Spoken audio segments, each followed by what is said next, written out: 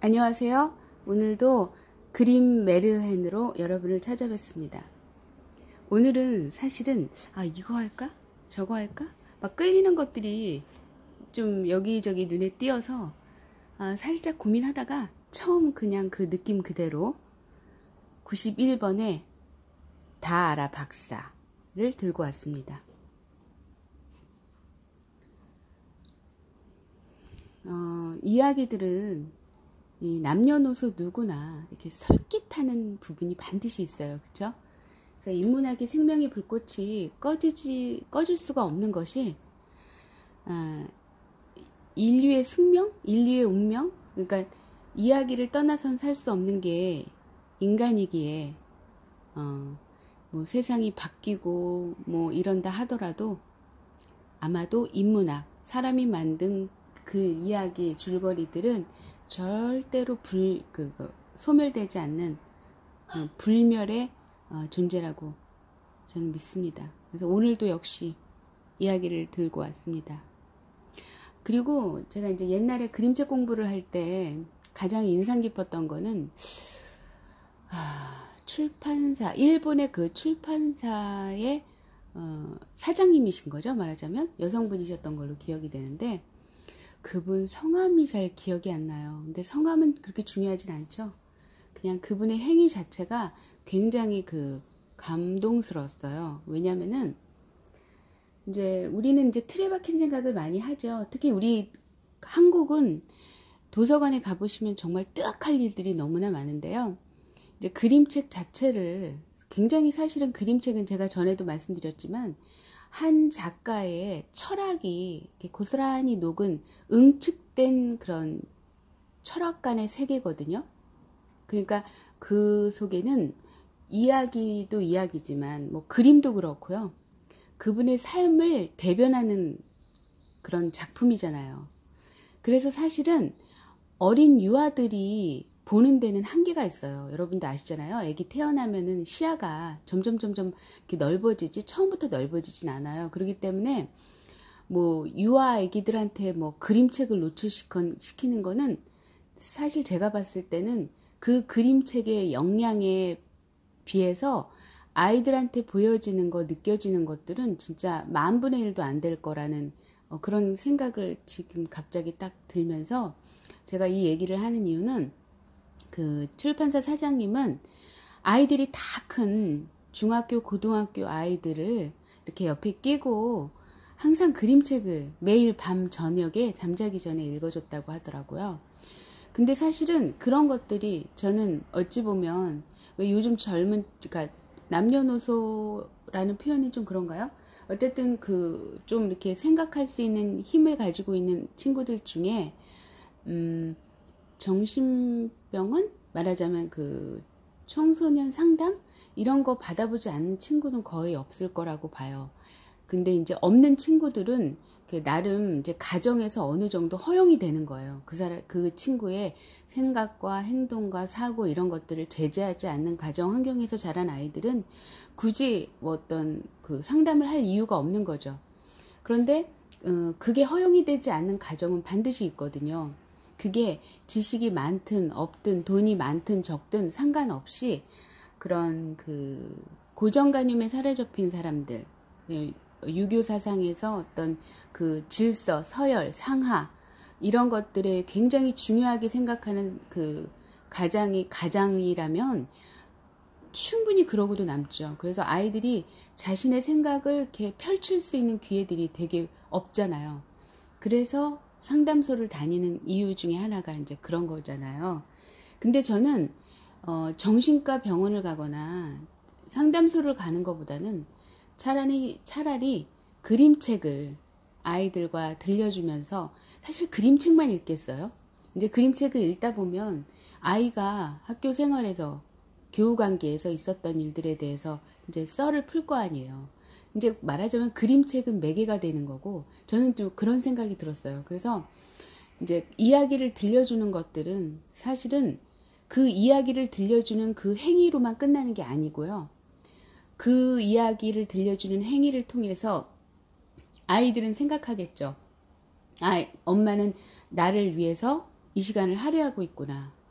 뿐만 아니라 그 사랑과 우정과 그 엄마와 그 부모와 어떻게 보면 서열이라 서열이라고 볼 수 있는데 그 상하를 상하의 서열을 붕괴시키고 와해하고 그 제가 좋아하는 out of 그 borderline이죠. 경계선을 넘어서 그 인격 대 인격으로 만나는 매개가 제가 볼 때는 그림책이고 이야기인 것 같아요.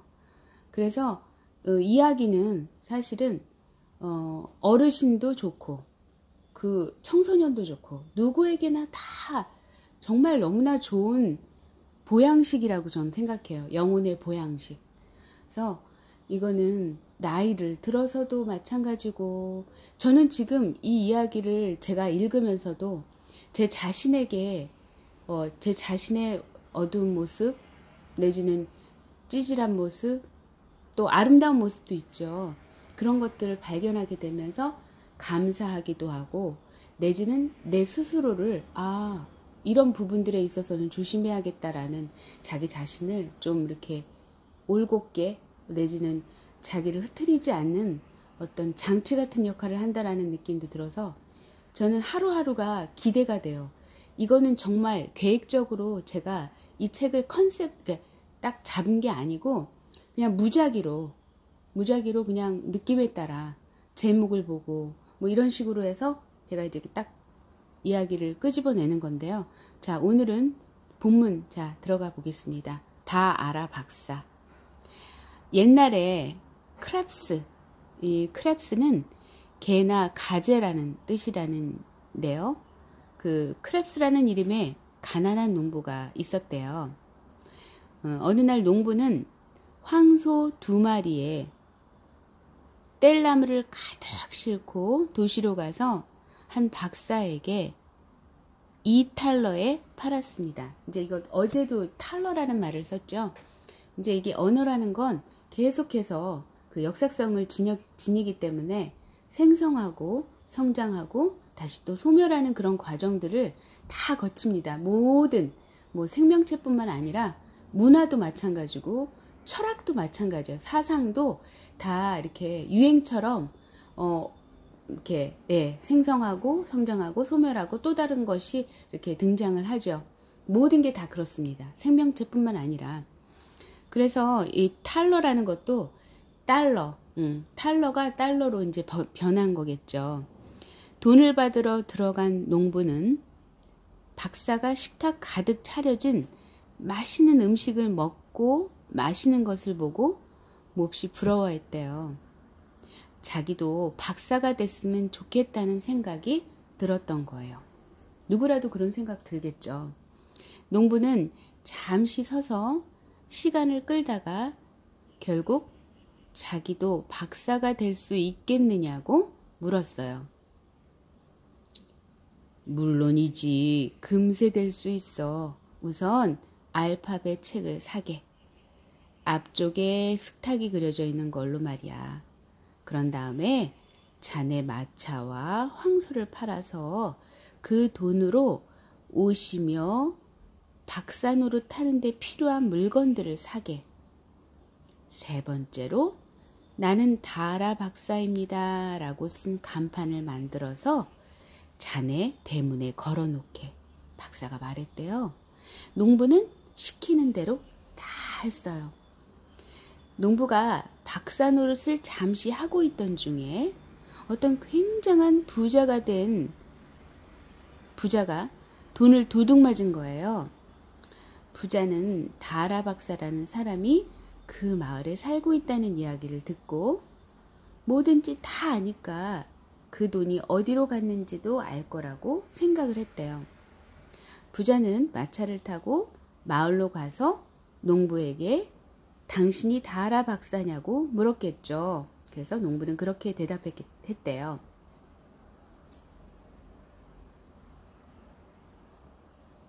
그럼 나하고 같이 가서 도둑 맞은 돈을 찾아주시오. 그러지요. 하지만 내 아내 그레테도 같이 가야 해요.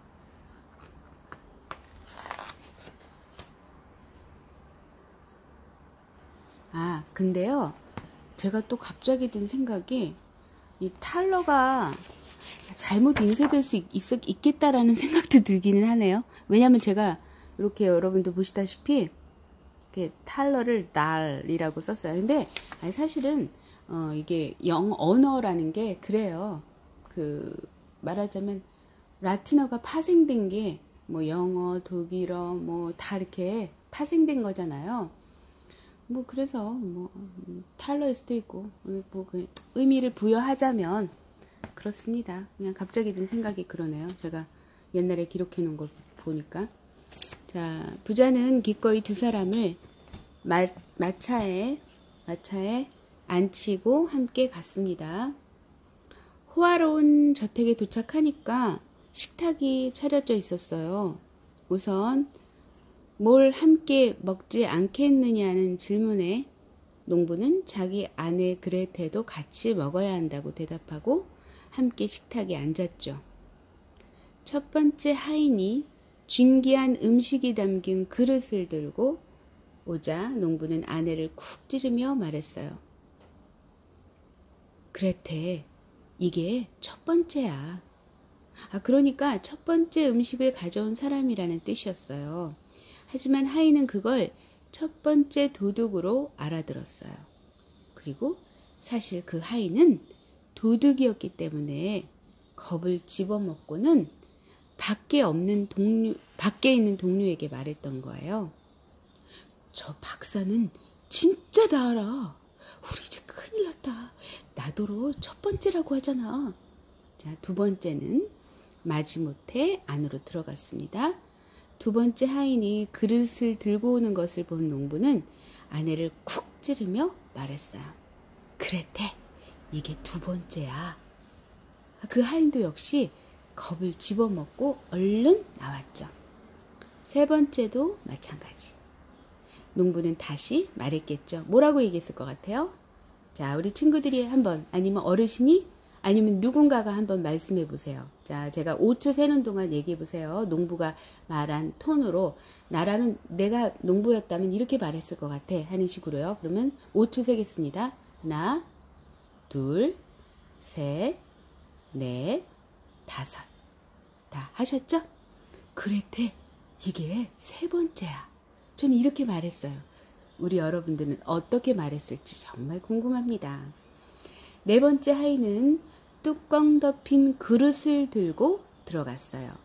부자가 박사에게 솜씨를 발휘해서 그 안에 들어있는 게 뭔지 알아맞혀 보라고 했습니다. 그릇 안에는 가재가 들어있었죠.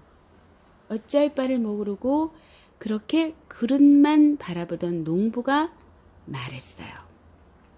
아, 이 불쌍한 크랩스.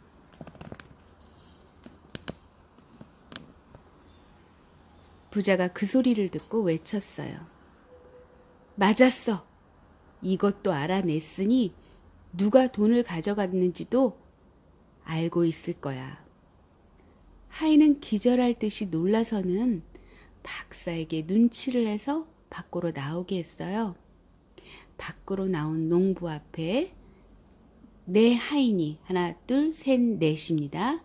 네 하인이 와서는 자기들이 돈을 훔쳐갔지만 돌려주겠다고 말했어요.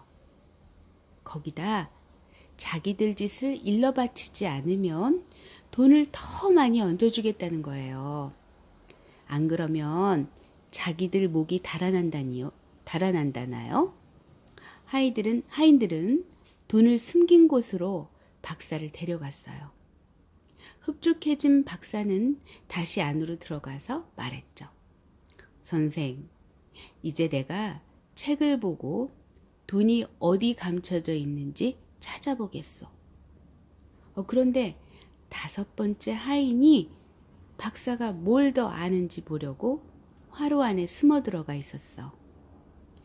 박사는 알파벳 책을 펴서 후루루 넘기며 수탉이 어디 있는지 여기저기 찾았지.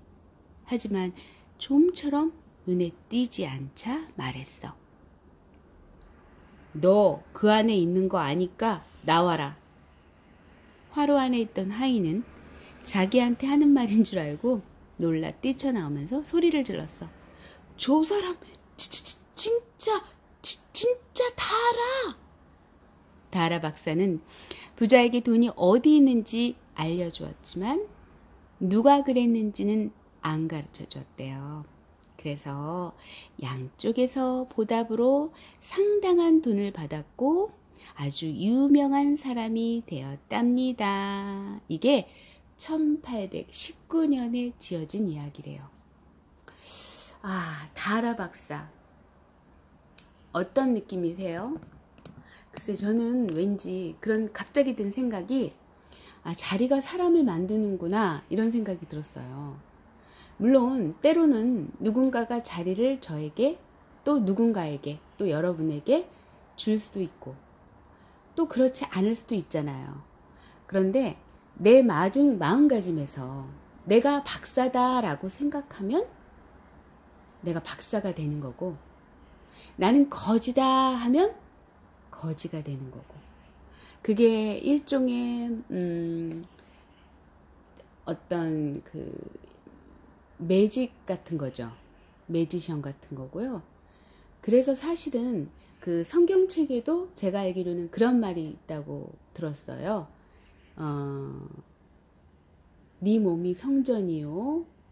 어, 네, 네 안에, 너의 안에 답이 있다 였나요? 그러니까 이게 지금 괜히 굉장히 많이 겹쳤을 것 같은데, 뭐 좋은 책들 속에 담겨져 있는 글들은 특히 이제 고전 같은 경우는 오래된, 그러니까 성, 성경 같은 경우는 오래된 책이잖아요. 음, 성전, 바이블, sacred book이라고 해야 되겠죠.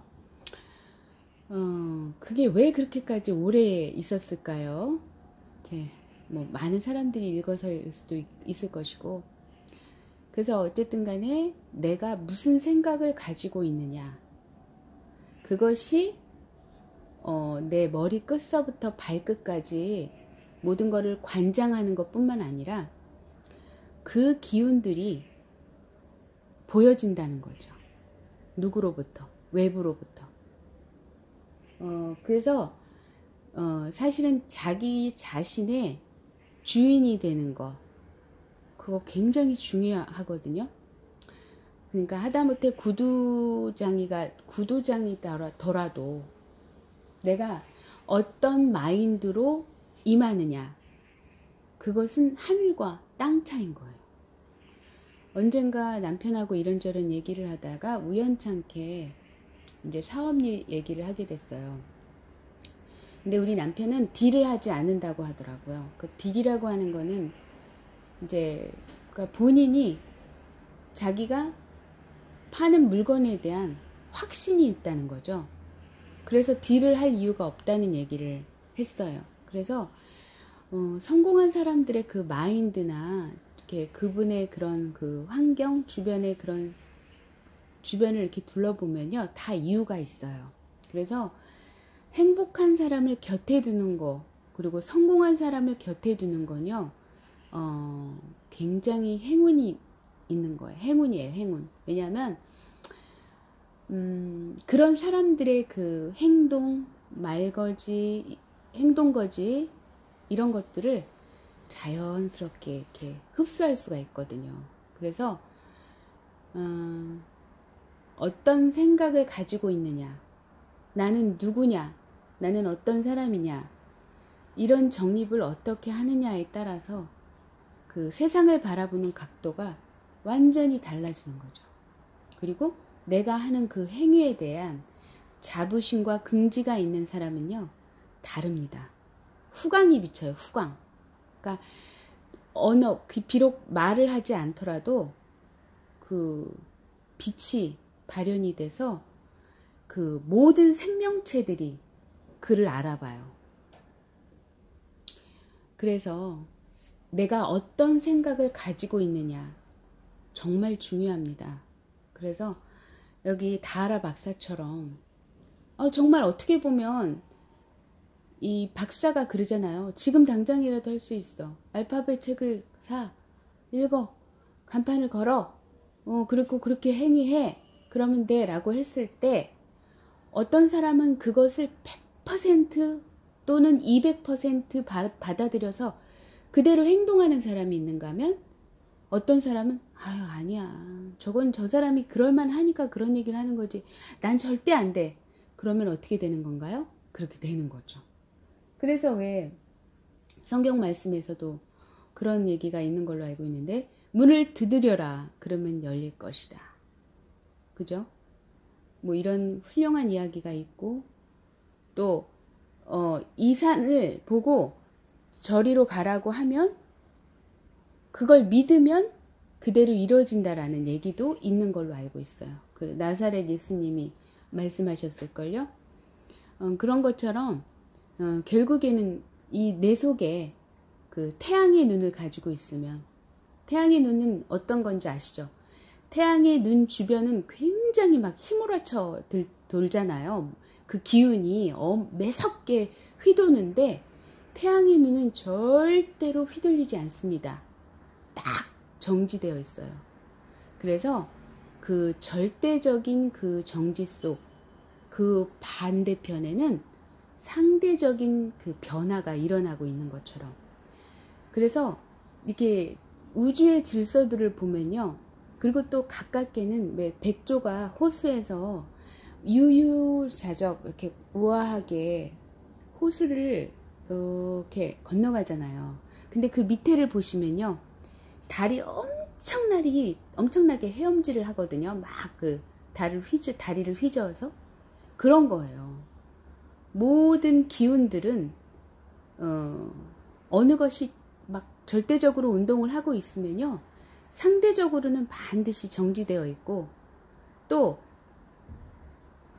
정지되어 있으면 어느 곳에는 절대적으로 운동을 하고 있는 그런 그 음양의 균형이 이렇게 잡혀 있다고 해야 되나요? 아이고 아무튼 그렇습니다. 이거 굉장히 심오한 이야기인데 그렇습니다. 그래서 여러분 오늘도 오늘은 여러분 선택하세요. 어떤 마음을 가지실지.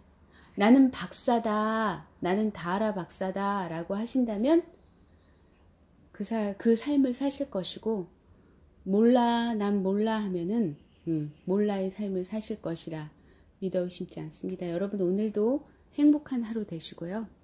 다 알아 박사처럼 그것을 듣고서 그냥 삶에 녹이세요. 그래서 그런 삶을 사시길 바랍니다. 오늘도 행복하세요. 감사합니다.